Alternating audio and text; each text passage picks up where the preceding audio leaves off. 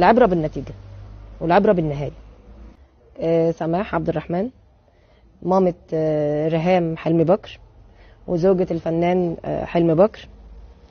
وطبعا سمعنا امبارح إشاعات كتير وانتوا جيتوا عليها إن الأستاذ مخطوف وإن الأستاذ تعبان أو بيتعذب تقريبا. هنا في مستشفى آه، إحدى مستشفيات مدينة كفر صقر بمحافظة الشرقية توفى الموسيقار الفنان آه، حلمي بكر عن عمر يناهز 86 عام بعد أزمة صحية تعرض لها خلال الأيام القليلة الماضية. آه، طبعا هو كان بيعاني من آه، أزمة صحية على إثر تعرضه لمشكلات في القلب وقصور في الكلى.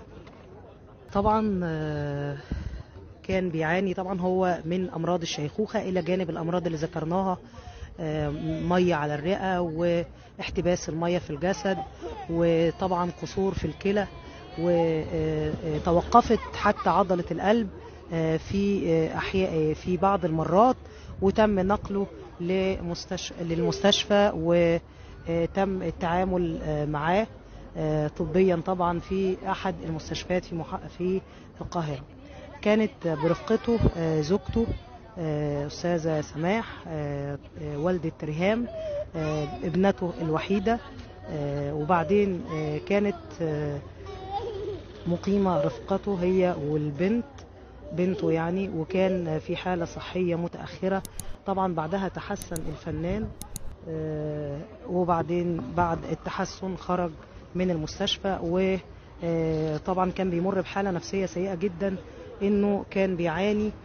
من آه، مشكلات آه، من أزمة نفسية بسبب آه، طبعا أي حد مريض بيبقى يدخل المستشفى بي- بيتعب وبيعاني من ده جدا جدا.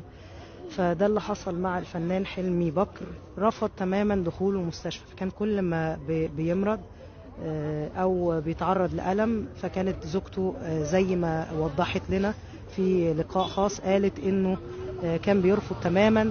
وكان بيستجير وبيقول بلاش آه، المستشفيات خلوني أتعالج في البيت.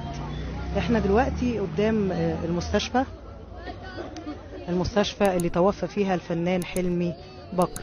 آه، الفنان حلمي بكر زي ما قلنا توفى بعد عمر 86 عام. كان ترك رصيد كبير من الألحان الموسيقية في مصر والوطن العربي وكان له بصمة رحمة الله عليه. كانت الأيام اللي فاتت آه، آه، سمعنا طبعا وكان الترند الأول آه، في مصر وكان حديث الساحة الإعلامية آه، ومواقع التواصل الاجتماعي اللي هو إن الزوجه اختطفت الزوج وكانت بتعذبه في آه، آه، بيتها في مدينة كفر صقر. ولكن لما قابلنا ال- الزوجة نفت تماما وقالت إن الكلام عاري تماما عن الصحة وإن آه، الفنان آه، كان آه، جه معاها آه، طبعا كانت بتخدمه في بيتها في المهندسين في البيت آه، الخاص بيهم. ولما لقت إنه آه، آه، هي طبعا كانت بتشيله لأنه كانت محتاج تمريض فحصل عندها كسر في الضلوع فاضطرت على اثر المشكلة دي إن هي آه، ترجعه تاني آه، ترجع بيه وسط أهلها عشان يساعدوا معاها في الموضوع. وبالتالي آه، جابت له مرافق وبدأت تخدمه وكان الراجل مستريح وإحنا شفنا الموضوع ده شفنا آه، وجوده في غرفة خاصة كانت آه، في منزل آه، في مدينة كفر صقر وكانت ال- الزوجة بتتعامل وجايبة له مرافق وفي دكتور خاص بيتعامل معاه وقالت إنه تم تداول كلام يشين يشني ويتهمني إن أنا آه، مقصرة في حق الفنان ولكن ده ما حصلش. هو زوجي وأبو بنتي وكنت بقدم له كل الخدمات ووفرت له طبيب ولكنه هو كان رافض إنه آه، يروح المستشفى.